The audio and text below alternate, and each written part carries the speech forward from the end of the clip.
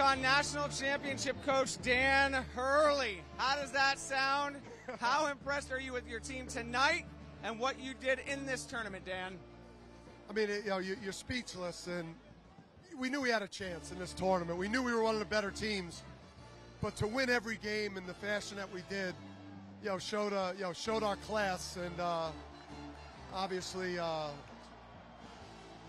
I have no, not many words. What was it about your group? You held off. They made a push. They got it to six in the second half. What adjustments? How did your guys react and respond to get that back into win in double digits for the sixth straight game in this tournament? Yeah, we just had guys step up. You know, we uh, you know we got stops. Obviously, Jordan hit a huge three. Um, you know, our best players really came through for us. Adama was awesome. Andre was all over the court. Jordan stepped up. But you know, the collective of this group was always the strength. Adama Sanogo, the best player in this tournament. What makes him so dominant, and how much did he grow, not just in the past month, but even from the guy he was a year ago to right now in this moment, Dan? I just think that, um, you know, he's got rare work ethic, he's got rare competitive will, uh, and he's a special player. I mean, he's, I don't know what the NBA's doing with him. He's uh, Montrell, Montrezl Harrell with, uh, with a three point shot in college and a game off the dribble. So, so there's my plug for him to be a, a draft pick this year. But you know he, uh, you know he just he led the program by example, and he was the best player in the tournament. UConn's 5 0 all time in national championship games. Fifth national championship since 1999. I know this means a ton to you for this program. Blue blood status, undeniable, right? Yeah, I mean, I yeah, I should have been pre this. I mean, with the four and yeah, I mean, UConn is as the blood is as blue as it could be because we bleed blue because it's it's UConn. Last one for you. What does this mean to you to get this win? You saw your brother do this as a player. You've done this. You have a certain sense of validation, exuberation. What does this mean for you personally, Dan? I don't. It'll hit me. Maybe what it means. Uh, I'm proud of my journey.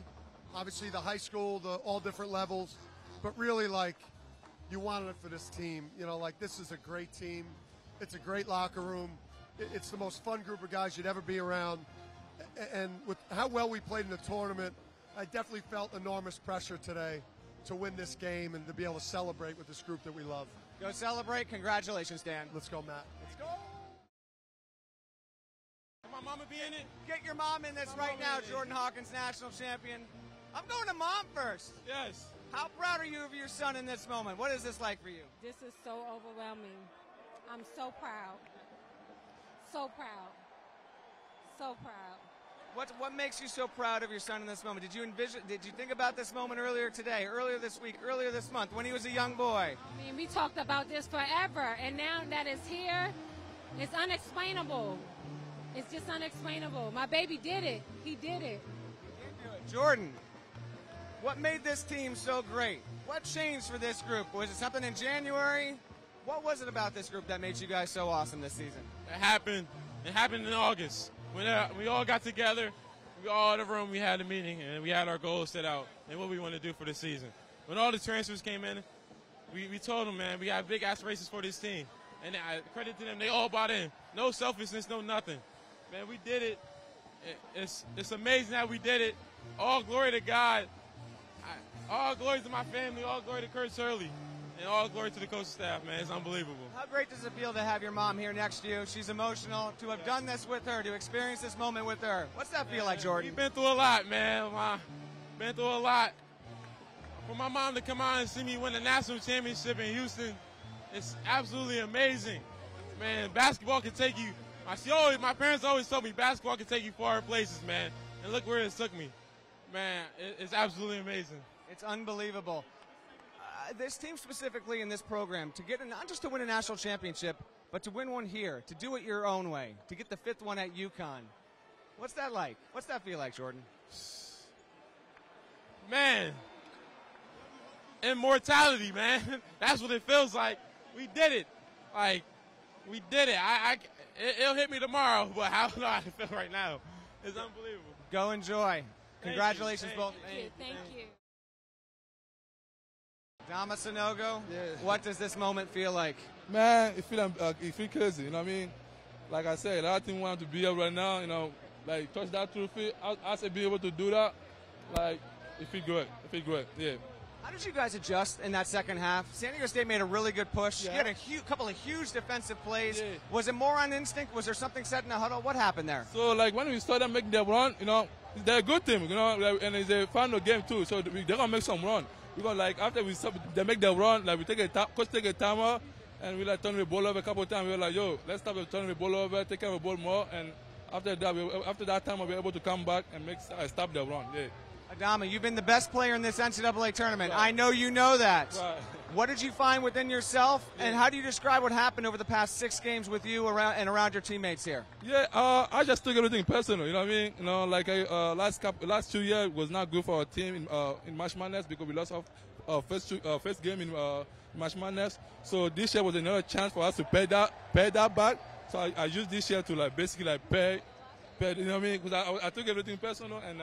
Uh, you know, you know, I was like, all right, this is, uh, I have another chance this year to like win, and uh, I was like, I take everything personal, yeah, yeah. What does this moment feel like? Did you envision, like, did you wake up today knowing this was going to happen? Did you try and picture how this moment was going to be, or did you want to kind of let it happen naturally? I think uh, I was definitely confident. Game, like uh, I was dreaming about it. I'm like, shit, I had a game today. I feel like I'm about to be a champion. I was dreaming about like this moment. You know, that gave me a confidence a little bit. I'm like, all right, last, we, we win last five games. We don't have to change anything. Just play like that tonight, and we're gonna get a, and we're gonna get a job done. And that's what we did, and we got a job done. Yeah, happy about it. Yeah. One of the best performances in NCAA tournament history, Adama Sanogo. Congratulations and thank Thank you, thank you. I appreciate it. Good seeing you. Donovan Clingan.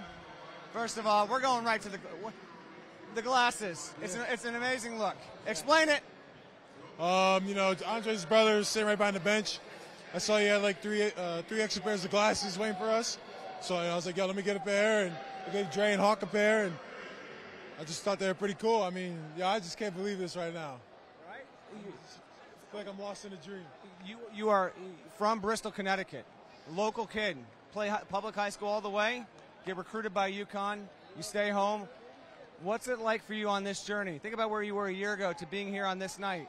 Is it remotely believable for you, Donovan? No, I mean, a year ago, right now, I was celebrating from a state championship, and now I'm about to go celebrate from a national championship, and it is two completely different feelings. I mean, we worked so hard for this for the past nine months. You know, it feels great to have this, you know, have this feeling of winning. You know, we ended our season on a win, and that's all you could ask for. Um, you know, I'm proud of the guys, I'm proud of the coaches. You know, I love this whole team, the whole program. You know, this is just such a connected staff, a connected group. You know, eh, we deserve this. In your heart of hearts, when did you believe this team was truly good enough to win a national championship? When did that happen this season? Yeah, when we were on a 14-0 run, I feel like you know we had a chance. You know, I knew, you know, we, we needed to go through that, that, you know, few losses in the middle of the season, you know, just to get us, you know, mentally tougher and you know just face a little bit of adversity. You know, so once we went through that and came out and we went on a run and now we're champs. Without a doubt. In this specific game, the challenges San Diego State provided in the second half. How did you guys wind up pivoting and pulling away for a sixth straight double-digit win in this tournament? Yeah, I mean, we just kept the composure and didn't let you know the crowd and their little run, you know, get to our heads. You know, basketball is a game of runs, and you know we knew that teams were going to go on go on a run. You know, they came back from against uh, FAU from a 50 point deficit, so you know we knew we knew they were capable of it. You know, we just kept our composure, kept our poise, and went out there. Hawk had a big three. Tristen made some big free throws. You know, that's all you can ask for. And I mean, this this is crazy.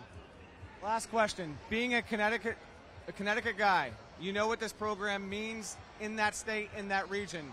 What's your message you want to send to UConn fans in that state, in the region, around the country, around the world about what you guys have been able to accomplish here, Donovan? I mean, we got the best fans in the country.